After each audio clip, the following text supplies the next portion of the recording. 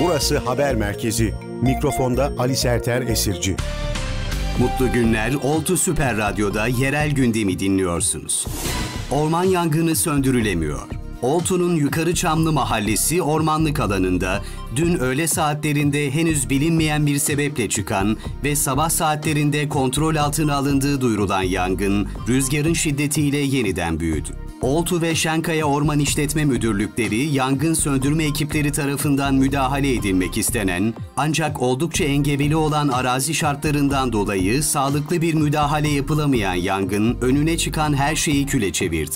Oltu ve Şankaya Orman İşletme Müdürlüklerine bağlı yangın söndürme ekipleri bölgede yoğun çalışmalarını sürdürüyor. Erzurum Büyükşehir Belediyesi Oltu İtfaiye Amirliği'ne bağlı itfaiye araçları da su taşıyarak bölgedeki su arazözlerine takviye yapıyor. Oltu Kaymakamı Şenol Turan bölgede incelemelerde bulunurken son gelen bilgilere göre yangının daha da büyüdüğü ve çevreyi tamamen sardığı belirtiliyor.